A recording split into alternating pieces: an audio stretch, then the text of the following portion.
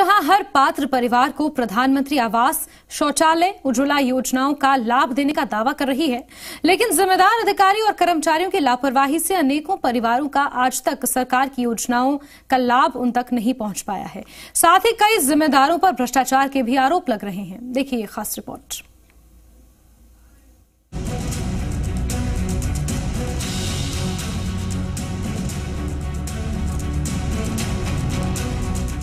प्रधानमंत्री आवास एक ऐसी योजना है, जिसके तहत हर पंचायतों में बड़े पैमाने पर आवास का निर्माण कराया जाना है। इस योजना में बेघरों या कच्चे मकानों में रहने वालों को मकान देना है, लेकिन आज भी कई गरीब बेघर इस योजना के लाभ से वंचित हैं और टूटी झोपड़ी में ज़िंदगी गुजारने को मजबूर है। केंद्र और राज्य सरकार गरीबों को पक्का मकान देने के लिए करोड़ों रुपए खर्च कर रही है। लेकिन अधिकारियों और जनप्रतिनिधियों की उदासीनता से क्षेत्र के गरीब लोगों के पक्के मकान की ख्वाहिश सिर्फ़ सपना बनकर ही रह गया। सरकार ने कहा भी आरसीसी लोग लोगों ने इधर पैसे इकट्ठे करके दो के चार के ब्याज ला के आरसीसी डलवाई आरसीसी डलने के बाद इन लोगों ने लोगों को फिर आश्वासन दिया कि तुमको चेक देंगे फिर लोग आप वीआईटी के चक्कर काटते आते जाते। जिन लोगों के मकान नहीं बने उन लोगों को अभी तक दो दो किस्तें दे चुकी वीआईटी मिली भक्त के कारण हम लोगों को फ्लोर तो दे दिए। फिर उसने बोला कि आप लोग नीम भरवाएँगे तब एक किस्तें देंगे हम लोग? बेचारों ने नीम भरवा दी तो उसकी किस्तें की कुछ मालूम नहीं है। फिर बोलेंगे कि दूसरी किस्त मकान के बाद में मिलेगी।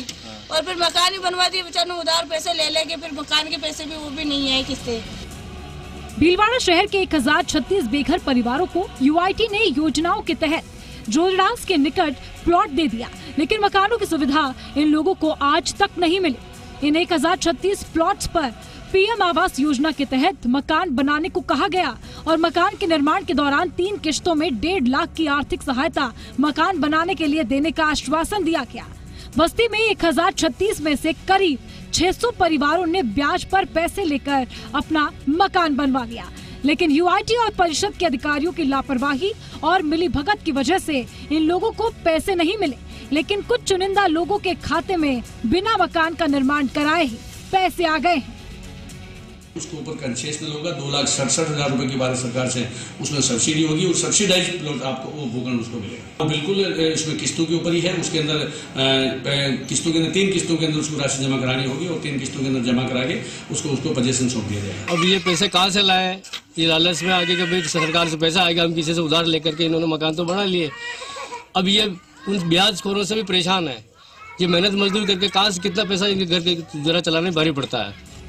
झुग्गी बस्तियों में रहने वालों की संख्या पिछले दशक से दोगुनी हो गई। है भारत सरकार के सर्वे 2011 के मुताबिक मुंबई इकतालीस फ़ीसदी, कोलकाता उनतीस फ़ीसदी, चेन्नई 28 फ़ीसदी और दिल्ली में 15 फ़ीसदी शहरी आबादी झुग्गी बस्तियों में रहती है। इन झुग्गी बस्तियों में औसतन पाँच लोग एक कमरे में अपना गुजारा करते हैं।